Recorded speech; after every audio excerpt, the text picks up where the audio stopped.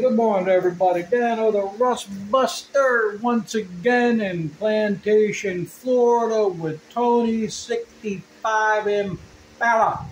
Uh, this is a uh, resto mod uh, with the with the uh, LS7 motor, the four-link rear suspension, the best of the best of the best of everything. What I do is I put on the rear quarter and a lot of people have this they, they, they, they seem to they, they comment on, on my technique which is I butt weld. However, I do not 100% lay a continuous bead all the way around there. Number one, it distorts the metal, has too much heat. And number two, it's just simply unnecessary. Why is it unnecessary? Oh, but the moisture is going to get in there and, and it's going to lift. No, it's not. When I cut out the piece and when I'm prepping my piece to put it in, I, I sand the shit out of it OSPHO it. If you don't know what OSPHO is, then you got nothing to tell me.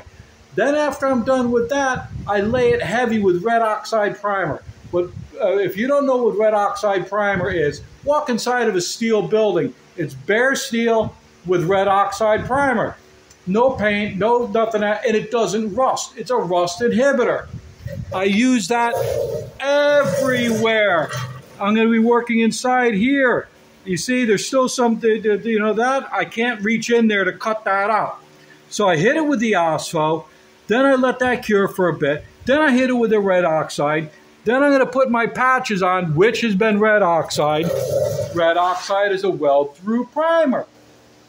After I get done with that, I red oxide it again. It gets between the gaps of where the welds are. And then after I'm done with like a rear quarter, and I patch that in.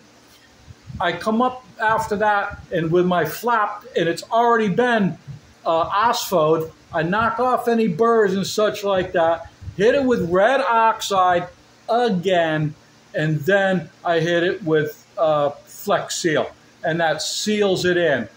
If, if, if you want to make a comment about the right way to do it, you better be showing me your work, okay? And where mine after I don't know how many years, mine doesn't lift. Okay? These cars that I work on, this 65 Impala is not going to be driving on the Long Island Expressway in the winter with, with sand and fucking salt. Okay? Think of who you're talking to here. So if you got a comment, that's cool. You want to tell me how it's done and where I'm going wrong? You can kiss my ass. Until then, y'all have a nice day. Thank you. Bye bye.